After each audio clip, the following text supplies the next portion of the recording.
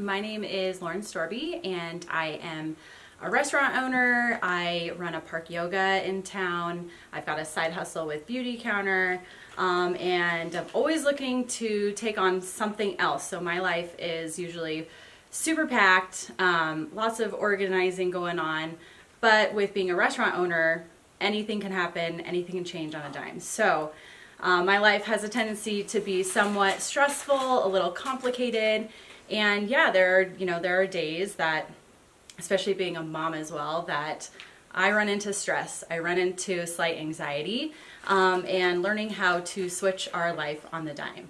So um, I came across Stress Fighter and um, I'm not normally a supplement type of person, but the brand itself and the owners that stand behind it, they are um, super into being transparent as far as ingredients and um, sourcing and making sure that they um, actually work because as you know in the supplement industry there's a lot of BS going on. So um, I gave it a try and honestly it has been super life-changing. Um, I love the product.